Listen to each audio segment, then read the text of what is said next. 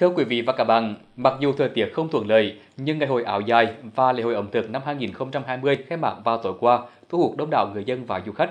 Một trong những hoạt động góp phần làm nên thành công của lễ hội là biểu diễn nhảy flash mob với sự tham gia của hàng trăm tình nguyện viên, góp phần lan tỏa tình yêu với tà áo dài truyền thống của Việt Nam nói chung và Huế nói riêng đến với cộng đồng. Ghi nhận của phóng viên thời sự.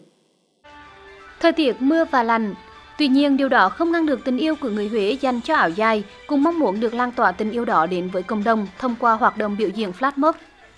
Hơn 200 tình nguyện viên đủ mọi lứa tuổi giới tính ngành nghề trên địa bàn thành phố Huế đã cùng hội tụ khoác lên mình tạo dài truyền thống để hòa vào vũ điệu sôi động của ca khúc Việt Nam ơi và về với Huế. Trong đêm mưa đặc trưng của xứ Huế, phần biểu diễn tràn đầy năng lượng hứng khởi này không chỉ giúp xua tan đi giá rét mà còn góp phần mang hình ảnh một cố đô Huế vui tươi, năng động đến với bạn bè gần xa. Mình gặp mấy người bạn nước ngoài,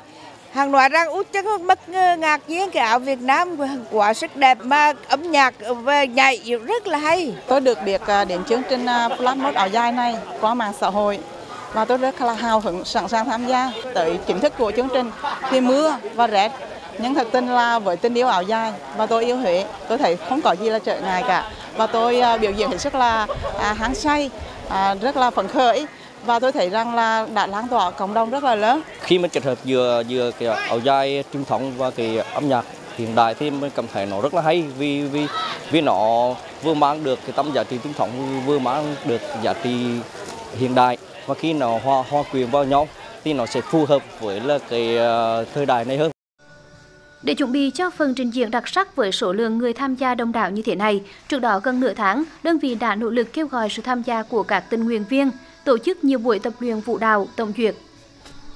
Sự hưởng ứng nhiệt tình của đông đảo người xem và ban tổ chức cùng sự lan tỏa tình yêu áo dài đến với cộng đồng chính là phần thưởng xứng đáng nhất dành cho những trái tim yêu Huế.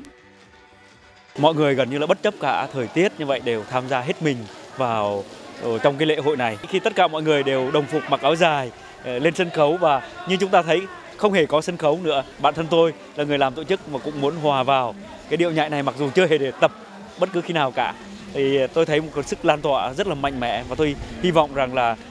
cái ngày hội áo dài này chỉ là cái bước đầu tiên thôi để chúng tôi khơi gợi lại cái tình yêu người áo áo dài, di sản áo dài của người Huế để Huế thực sự trở thành kinh đô áo dài trong nay mai. Có nhiều cách để từng bước đưa áo dài hòa mình vào hơi thở của cuộc sống hiện đại. Những nỗ lực thầm lặng như thế này đến từ cộng đồng sẽ tạo nền tảng vững chắc để góp phần xây dựng thành công thương hiệu Huế kinh đô áo dài.